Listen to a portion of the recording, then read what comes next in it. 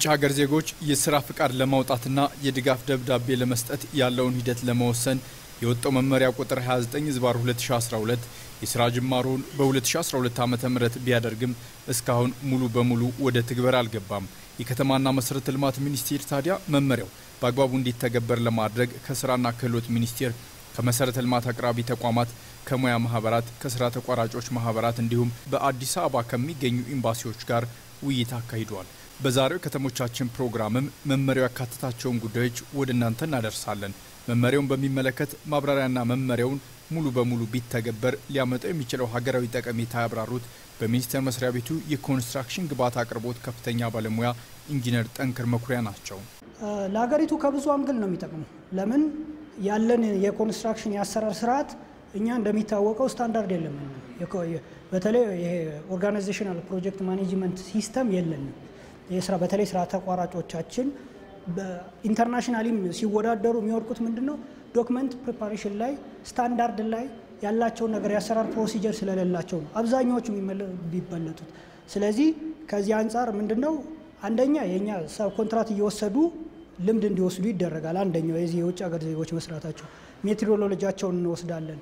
ብዙ ባለሙያዎች ከነሱ ልምድ እንዲቀስሙ ይደረጋል። ልምድ ሲቀስሙ ምንድን ነው አንደኛ እውቀትን ሊቀስሙ ይችላሉ። technical knowledge ኦቹን ከዛ ላይ onsite job training ኡን ይወስዳሉ። ያላቸውን እውቀትም ያሰፋሉ። አዳዲስ ቴክኖሎጂዎችንም ለማላመድ ለሀገራችን ለማስፋፋት እንዲሁም creativeness ወደ ሀገራችን context ስናመጣው እንዲህ እንዲህና መሰል ጉዳዮችን ብዙ ጠቀሜታ ነው ያለው። ያው እንደሚታወቀው የኮንስትራክሽን ኢንዱስትሪው ከብዙ ዘርፎች ጋር ግንኙነት ያለው ነው። multi relation to other profession ነው። በሱ መሀል ያለውን technical ና knowledge ያለውን ቴክኖሎጂ advancement ን knowledge transfer ለማድረግ ነው። ሌላ ደግሞ ያለውን ይሄ advocacy system የሚባለውም ያው ኋላ ቀር አሰራሩን ወደ ዘመናዊ አድርገን follow up ኡን ማጠንከር የሚቻልበት ሌላ ደግሞ legal frame of follow up የሚደረግበትን procedure የአሰራር ስርዓትን መዘርጋት የሚችል ነው። ሌላኛው ያው ያለውን የ good relation with other country ያለውን ማጠንከር የሚችል ነው። ሌሎች ደግሞ እዚህ ላይ invest ባረጉ ቁጥር ብዙ የ local assistance ኦች የተለያየ እውቀት ዘርፎችን የሚቀስሙበት እንዲሆን ነው ተፈልጎ ይሄ መመሪያው የሚወጣው። ያንም እንዲሰጥ ደግሞ training schedule ኦችን እና የ training agreement ኦችን እየተፈራረሙ real እንዲያበቋቸው ያው ቁጥጥር እየተደረገ ነው ማለት ነው። ስንተገብር ምንድን ነው ተናበን ፕሮጀክት ባለቤቶች ይሄን ፍቃድ የሚሰጠው አካል ድጋፍ ደብዳቤ የሚሰጠው አካል እና ሌሎችም stakeholder ሚኒስቴር መስሪያ ቤቶች በጋራ ሁነው follow up ያለውን ችግር ከዛ on job implementing ላይ ያለውን ችግር ቶሎ ቶሎ መፍታት የምንችል ከሆነ ጥቅሙ በጣም ጥሩ ነው። ግን ማን ተገብረው ከሆነ ግን ዝም ብለን የአሰራር ስርዓቶቻችን ብቻ complex አድርገን የምንቀመጥ ከሆነ ግን አዎ በትክክል ዲፕሎማሲያችን የሚያበላሽ ጉዳይ ነው። ለምን የምንሰራው ከኢትዮጵያ ውጭ ከሆነ አገር ጋር ነው የምንሰራው። ስለዚህ ጥሩነቱ እና most advantage ኡ የእኛን የቤት ስራ መስራት ከቻልና የተሰጡትን comment ኦች በ directive ዙሪያ የቀረቡትን የሚሟሉትን ተሟልተው የሚቀነሱትም ተቀንሰው ነባራዊ ሁኔታውን መሰረት ያደረገ መመሪያ እያወጣን challenge ኦችን የአሰራር ስርዓታችን የደንበኛ አገልግሎታችን ማዘመን ከቻልና ከነሱ ጋር በቅርበት መስራት ከተቻለ ጥሩ advantage አለው። ከዛ በዘለለ ካልሰራን ግን አንደኛ የስራ እድል ቁጥራችን የስራ አጡን ቁጥር እየጨመረ ነው። ምክንያቱም ሂደን ካልተቆጣጠርና follow up ካላረግነ እውቀት ተሸጋገር ካላልን ምን ያህል ሰራተኛ ቀጥረሃል ካላልን አንደኛ የስራ እድል አጡን እየጨመርን ነው።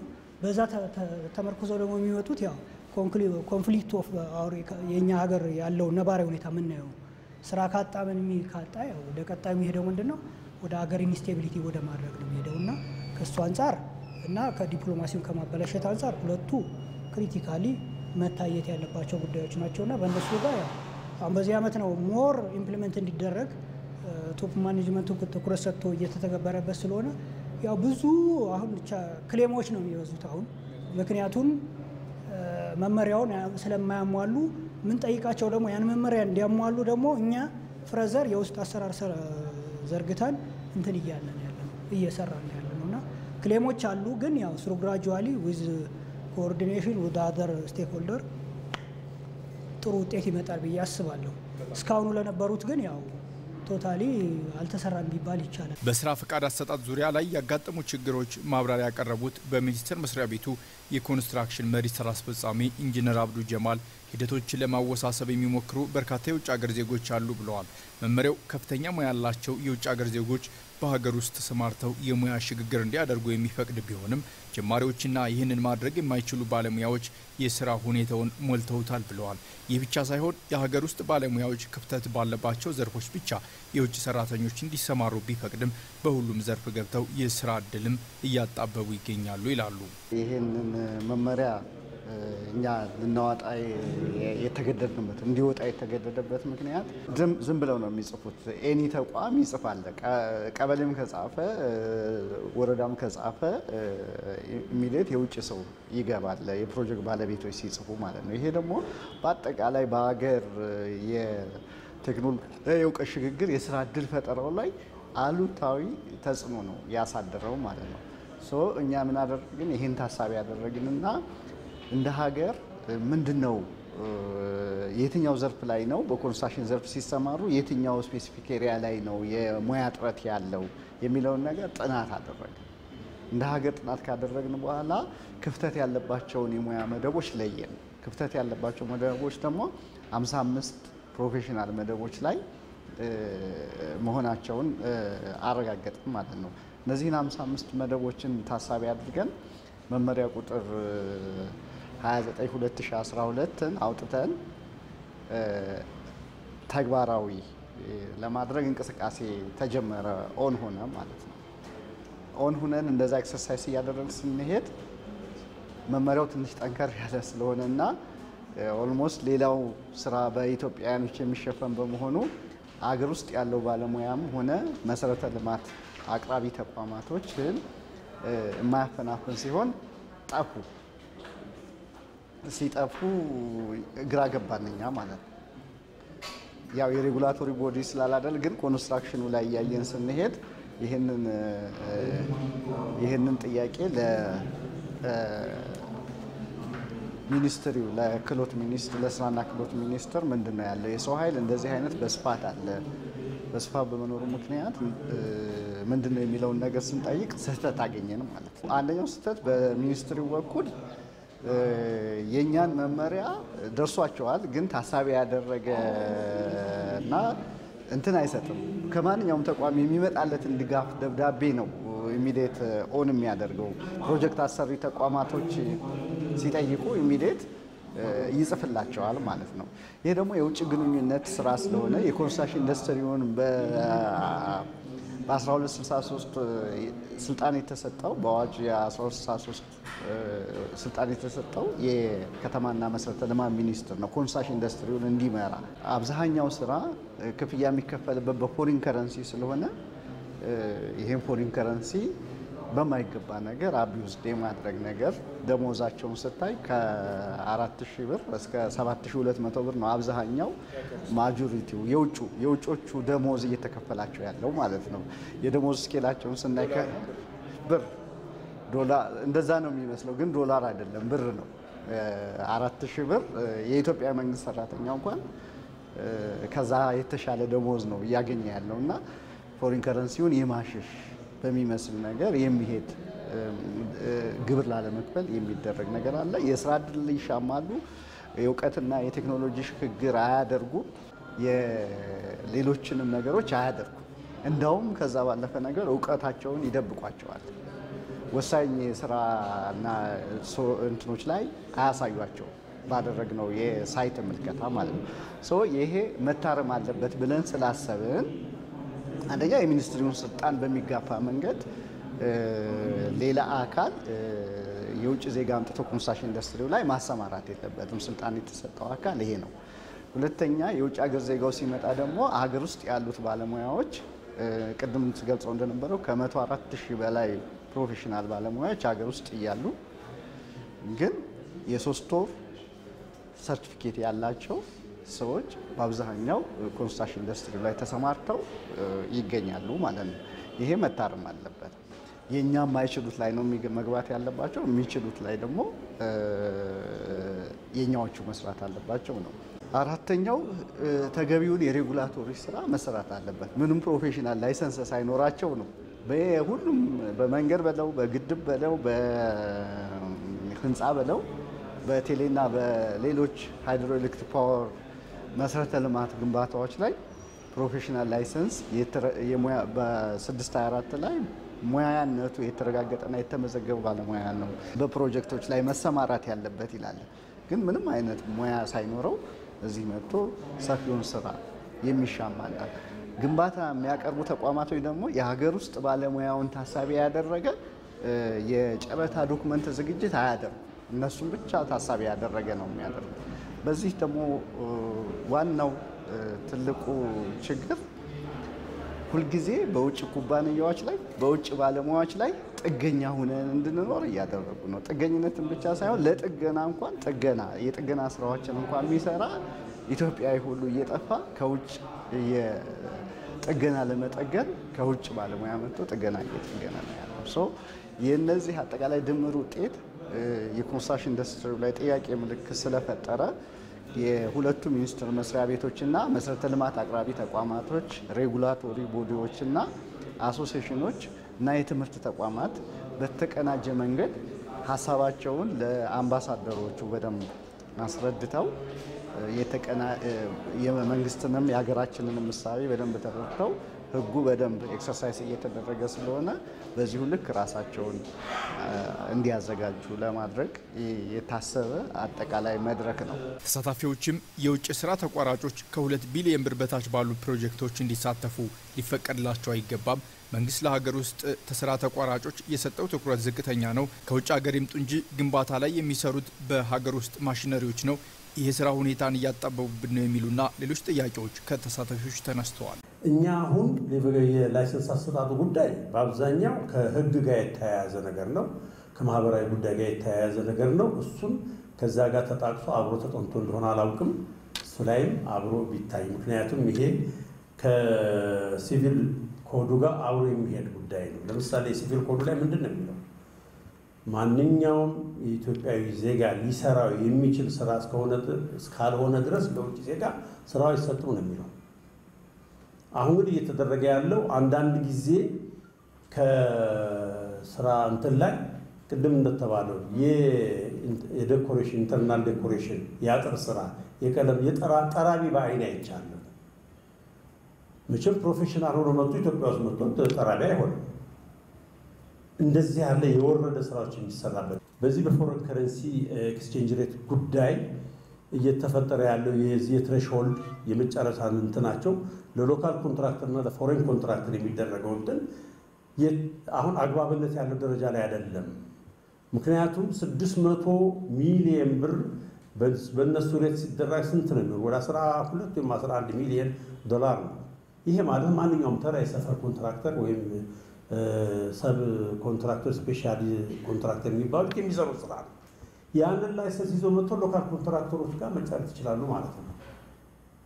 ስለዚህ ይሄ aggressively በጣም አስቸኳይ ስለሆነ በወጡ ፕሮጀክቶች ላይ አሁንም nationalize እየተደረጉ ስለሆነ ፕሮጀክቶች በዚህ ደረጃ ላይ ከዚህ በፊት በጽሁፍ እንዳቀረብነው ሁሉ ከሁለት ቢሊየን በታች ባሉ ፕሮጀክቶች ላይ እንዳይካፈሉ መደረግ አለበት ብለን በጥብቅ እናምናለን። ምክንያቱም በዚህ አይነት ደረጃ የ subcontractor ኦቻችን ማነው contractor ኦቻችንን አቅም ትልቅ ፕሮጀክቶች እየሰራን ካላስጠጋናቸው በስተቀር የውጭ contractor ኦች ሊሰሩት የሚችሉትን ስራዎች መስራት አይችሉም ማለት ነው። ባለህበት እርገጥ ነው የሚሆነው። ስለዚህ እዚህ ላይ ከፍተኛ ትኩረት ቢደረግ ነው።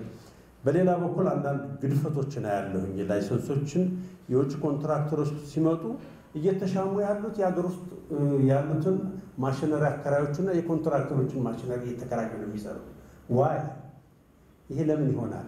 የሀገሪቱን local የማሽነሪና የ professional እንኳ ግድ የለም ስ ማነው knowledge transfer ምናምን የሚባል ነገር አለ። ከዛ ጋር ይያያዛል። local material okay። ከሀገር ውስጥ የሚመር ያሉትን market ኦች ለእነሱ የሚወስዱበት ዋጋ በጣም ከፍተኛ በመሆኑ በሀገር ውስጥ ያሉትን የኮንስትራክሽን ግብአቶች ዋጋ ያናሩብን እነሱ ናቸው። hundred percent የተረጋገጠ ነው information የምነግራቸው። አንድ contractor በስምንት ሺህ እና በአስር ሺህ ብር ኮንክሪት ከሞላ የእነሱ ሀያ ሺህ ብርና ሀያ አንድ ሺህ ብር ከሆነ ከ local market ም ገዝተው ቢሰሩ ያተርፋላቸው ያተርፋቸዋል ማለት ነው። ሌሎችም የ finishing material ከዛ ከሚያመጡ ከዚህ ገዝተው ዋጋውን በከፍተኛ ደረጃ እያናሩብን እንደሆነ ግንዛቤ ውስጥ እንዲገባ እንፈልጋለን። አሁን ለ comparison የሚቀርብ አንዳንድ ነገር አለ። የሀገር ውስጥ contractor ኦች ስራ አይጨርሱም የሚባልበት ነገር አይገባኝም። የትኛው research ሰርቶ ነው? አራት አምስት ፕሮጀክት ተሰርቶ ነው? በብዙ ነገሮች እኮ መታየት ያለበት ይመስለኛል። በዋጋ መታየት አለበት። በቴክኖሎጂ መታየት አለበት። የሀገሪቱን ሁኔታዎች የጸጥታውን፣ የ financial flow ውን፣ የ client ኡን strength፣ የ consultant ኡን strength በፋይናንስም ሆነ በማንኛውም ነገር የተመቻቸ platform አለ ወይ ሲባል የለም ነው መልሱ። foreign contractor የ government interference ወይም subsidy፣ የ financial support፣ bridge of finance በከፍተኛ ደረጃ ላይ የሚጠቀሙ ነው የሚያገኙ ስለሆነ ያንን experience ወደ እኛ ሀገር አውርደን በዛ አይነት መልኩ ብንጠቀምበት ከዚህ ከአማካሪ መሀንዲሶች ጋር ተያይዞ በ company ዙሪያ ያለው ነገር ምን ታስቦበታል? የውጭ ሀገር አማካሪ መሀንዲሶች ገብተው የ expression of interest ኦችን እየተሳተፉ የ national ጨረታዎች ላይ ቅድሚያ በማግኘት ወይም የተወዳዳሪነት ምርጫን በማግኘት እየተሳተፉ ነው እና ይህ እንዴት ይታያል? እኛ አገራችን ላይ ብዙ consultant ኦች አለን፣ በደንብ መስራት የምንችል ከእኛም ብዙ የቀደሙ መስራት የሚችሉ እና ይሄ ነገር at least international ኡ ላይ የሚገደብበት ሁኔታ ቢኖር ነው። properly knowledge transfer መደረጉን ከ local staff ኦቻችን የምናረጋግጥበት cross check የምናደርግበት mechanism ታስቧል የሚለውን ነው። test እናደርጋለን። ልክ እንደ አሁን ጀምረዋል construction professional ላይ እንደዛ እንደሚደረገው የሆነ የ local testing mechanism ቢኖር ለማረጋገጥ so that ያ fake ነው አይደለም ይዞ የሚመጣው document because I have experience አራተኛ ክፍል ከሆነ electrician ጋር ሰርቻለሁ። በ experience ኡ amazing የሆነ attitude ኡ perfect ለ leadership የሚገዛ ያው paper ላይ ገዛው ይችላል፣ ግን በዛ መልክ ከሆነ expect የሚደረገው ጨረታው ሲወጣ paper check ለማድረግ ይረዳል። ጠንከር ያለ ስራ መስራት አለበት የሚል ሀሳብ አለን። ምክንያቱም በ macro economy ላይ ቅድም እንደገለጽኩት ከስራ እድል ፈጠራ አኳያ የስራ እድሎችን ይሻማል extend ባረገ ቁጥር ማለት ነው። በሌላ መልኩ ደግሞ ምንድነው foreign currency ነው የሚሰጠው። በሀዝ foreign currency እያለ ነው በሀገር ደረጃ የታወቀ ነው እና እዚህ point ላይ እንደው በደንብ አድርጋችሁ ብትሰሩ የሚል ሀሳብ አለኝ። በእርግጥ ፈተናው በኮንስትራክሽን ዘርፍ ላይ ያለው በጣም ብዙ ነው። ይሄ ነው ብለን አንድ ሁለት ሶስት ብለን መቁጠር ቢከብድም በአሁን ግን አሁን ዛሬ ሁለተኛ የውጭ ሀገር ኮንትራክተሮች በቀላሉ equipment ኣቸው form work ኣቸውን በቀላሉ ማምጣት ይችላሉ። የሀገር ውስጥ የሚሰራ ሰራተኛ ደግሞ ያንን ነገር በቀላሉ achieve ማድረግ ስለማይችል even በ private owners ኦችም ያሉ ሰዎች በዛ ነገር attracted በመደረግ እነሱ ጥሩ እቃን ያላቸው ቶሎ እንዲያደርጉልናል በማለት የውጭ ሀገር ኮንትራክተሮችን የመምረጥ ነገር አለ። ስለዚህ በዛ ምክንያት ያው ሴክተሩ ላይ ችግር እየፈጠረ ነው ማለት ነው። ለተነሱ ጥያቄዎች የስራና ክህሎት ሚኒስቴር ዴኤታ አቶ ሰለሞን ሶካና የከተማና መሰረተ ልማት ሚኒስቴር ዴኤታ ወንድሙ ሴታ ምላሽና ማብራሪያ ሰጥተዋል። አንዳንድ ማነቆ የሆኑ article ኦችን ከመቀየር አንጻር አላሰራ ያሉ አሉ። ኮንስትራክሽን ዘርፍ ላይ ሙሉ በሙሉ በኢንጂነሮች ወይም በ professional ኦች ብቻ የሚሰራ ስራ አይደለም፣ በክህሎትም የሚሰራ ስራ ስለሆነ ያ ክህሎት ደግሞ በስልጠናም ያለ ስልጠናም በልዩ ተሰጥኦ እና በልምድ የሚገኙ ጉዳዮች አሉ። ስለዚህ መመሪያው አቃፊ መሆን አለበት ማለት ነው። ሁሉንም የክህሎት አይነቶች እና የሙያ አይነቶች ማለት ነው። ሌላው ግን በሀገር ውስጥ ኩባንያዎች የተነሱ ደግሞ በጣም በርካታ ተግዳሮቶች አሉ። minimum threshold ሁለት ቢሊየን የተባለው ማለት ነው። ከዛ በታች የውጭ ኩባንያዎች እየተወዳደሩ ከጨዋታ ውጭ እየሆንን ነው።